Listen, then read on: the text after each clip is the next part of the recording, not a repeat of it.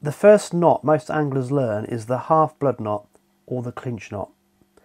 It's a really useful knot for tying your line to hooks and swivels and it's really really simple to learn. So let me just show you here with my oversized hook and I'm using fly fishing backing because it's easier to see. So all you do is pass the line through the eye of the hook or the swivel. You take, take it round itself, probably about five or six times. One, two, three, five, six. And then just pass it back through that first loop. Now if you stop there, that would be the half blood knot or the clinch knot if you want to make it stronger, you can pass the tag end back through that big loop and that will become a tucked half blood knot or an improved clinch knot, a bit of a tongue twister.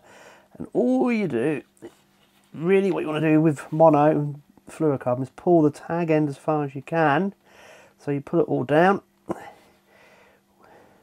With braid you could cheat and just pull the main line and you get a really, really neat knot. And before you tighten it fully, you'd want to moisten that with saliva.